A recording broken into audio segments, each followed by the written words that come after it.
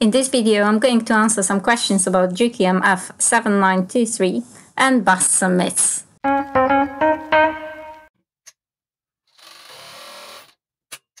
It's a two or three needles, top and bottom industrial cover stitch, used mainly for hemming, especially knit fabric, and for covering seams. It's mainly used in sewing activewear and underwear, but naturally, it has a few more uses.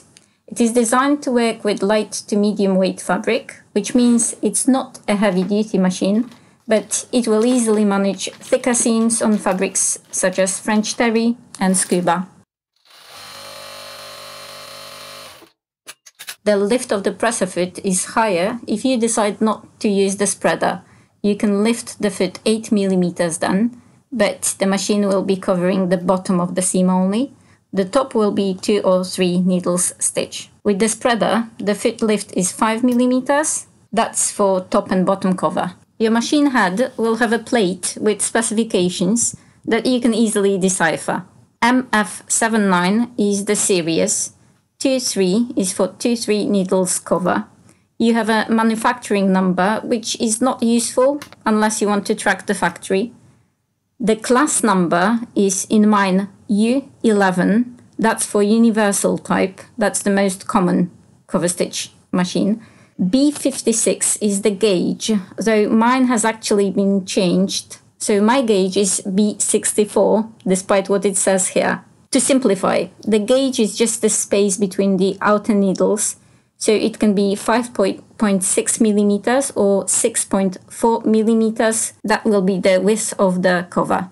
UT51, like in mine, or UT52 or UT57 or UT59 denote the cutter. UT51 and 52 are magnetic, UT57 and 59 are pneumatic. All these Juki manufactured devices cut the top and the bottom thread, so the needles and the looper thread, and lock the stitches.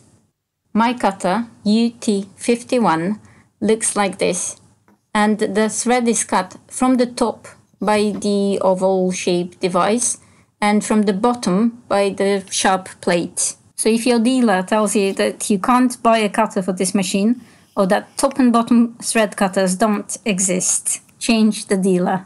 If you only want a bottom thread cutter, you can order a machine with um, UT53, UT55 or UT56 device. It's useful if you never use the spreader and you only cover the bottom. When I lift the foot, you can see that the space under the foot is 5 millimeters because I'm using the spreader, which covers the top but limits how high the foot can lift. By the way, the needle bar stroke in this machine is 31 millimeters as standard, but you can adjust it to 35 millimeters for heavyweight fabric I would recommend consulting your engineer if you are planning to do that, and I'm not going to tell you how to do it to avoid any responsibility for badly adjusted needle stroke bar.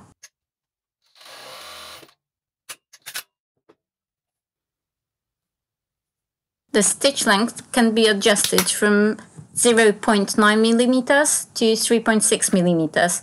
To change the stitch length, turn the feed regulating knob clockwise to make the stitch longer or counterclockwise to make it shorter. If you want to make it longer than 3.6 millimeters, you can push the pin to the end, to the plus, and fix it in place with the screw.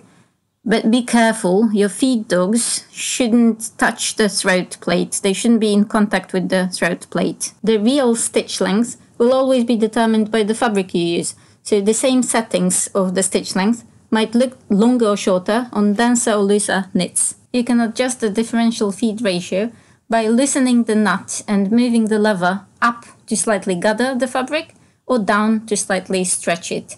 This machine can be micro adjusted by turning the micro adjustment knob. So this is the nut that you need to turn and this is micro adjustment, this one, the longer one. You can change the differential feed ratio by tightening the differential link next to the feed dogs. But again, I would not advise you to do that without consulting your engineer.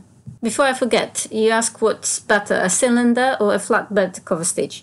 For other than factory settings, it really does not matter in Juki machines. The flatbed 75 series are trimmed at the front, so you can still get very close to the project. The cylinder bed is meant to enable you to be more precise and increase the speed of your work at the same time.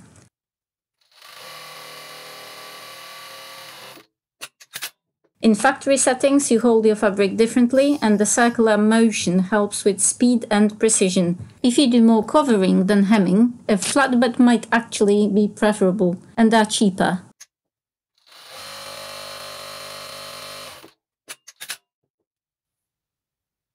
I'm going to open the front cover to talk very briefly about the looper threading traps. As you know, the machine needs to be threaded correctly for the stitch to be balanced. In this cover stitch, you might actually change the threading path if you use a stretch thread, but that's in your manual. What's different than in some other cover stitches is that the thread for the looper goes over the knob, not under. It still goes between the tension discs. The trap here is the looper thread cam, the thread goes between the two guides holes and the guide in the cam. You can turn the hand wheel to see if the cam picks it up. The rest of the looper threading is not too tricky.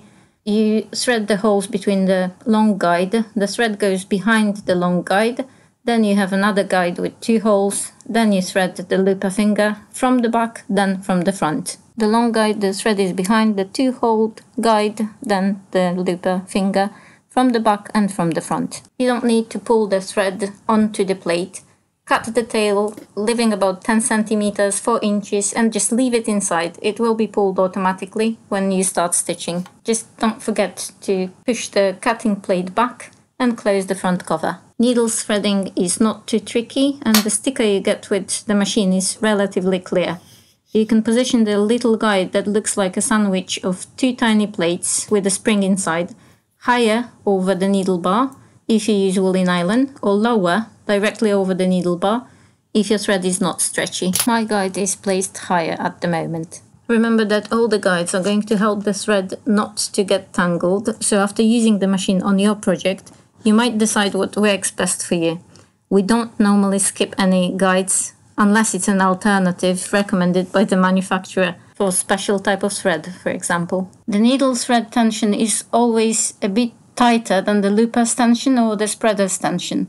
The tension should be tight enough to form a balanced stitch, but not any tighter. Well set machine will need very few tension adjustments. Also, always make sure that there are no obstacles in the threading path and that the thread moves freely and doesn't get caught anywhere. I'm moving the camera because I want to show you the control box and the operation panel. The control box SC921B is under the table, I'll show you in a second. But any trimmers, also elastic or fabric trimmers, will be connected to the control box, the SC921B control box, works with Juki direct drive motor, and that's the operation panel CP18. It's standard for all Juki machines. I'm not going to talk about it much. I'm going to mention the pressure foot pressure knob though. To adjust it, loosen the nut and turn the knob on top, clockwise to increase the foot pressure or counterclockwise to decrease it. Remember that fabric must move smoothly under the foot and be easily moved by the feed dogs. Then under this black cap, you have the oil tank entry. So you pour your oil here. For dry head machines, the oil is GK18. You can check if the oil comes out from the nozzle under the C3 cap.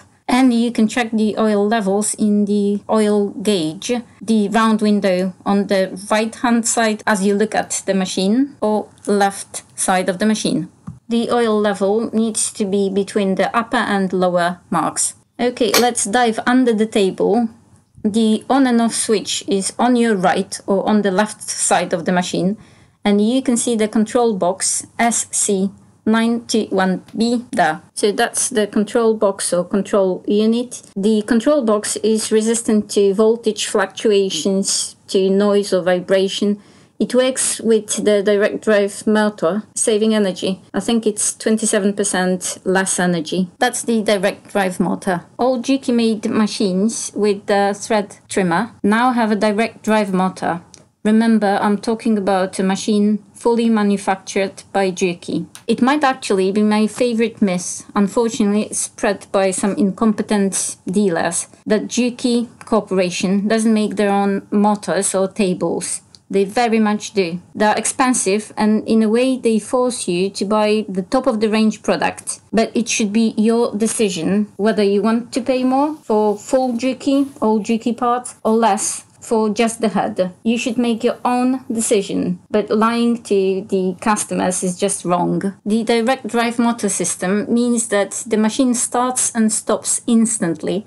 It's extremely responsive to one single stitch there is no belt, no belt shavings. The power goes directly from the motor to the machine, but these micro improvements come at a price. This machine is twice the price of the same head with a servo motor. Don't buy a clutch motor if you can avoid it, but a good servo motor will also work amazingly well for half the price. And finally, I wanted to show you which oil I use. So it's Juki Corporation Genuine Oil 18. That's for dry head machines. You change the oil after the first three months and then every half a year. And you can add a few drops of the oil here when you buy the machine when it's totally new. Do not add your oil here. It's for silicon lubricator only. That's enough for today. Like the video if you want to see more. Thank you. Bye.